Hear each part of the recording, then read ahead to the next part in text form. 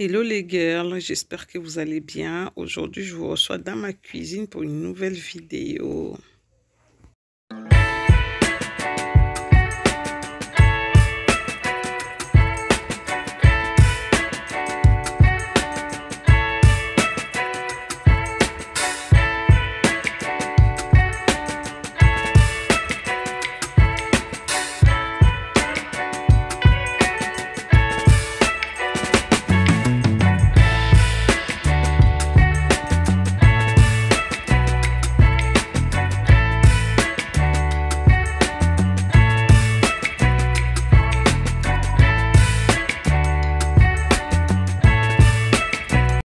Je vous disais, le girl, la vidéo d'aujourd'hui, ça sera le rangement plus organisation et recette des gâteaux. Donc, suivez la vidéo, c'est parti. J'espère que la vidéo vous plaira. Si ça vous plaît, n'oubliez pas de vous abonner si ce n'est pas encore fait, de commenter et de partager et de liker. Merci.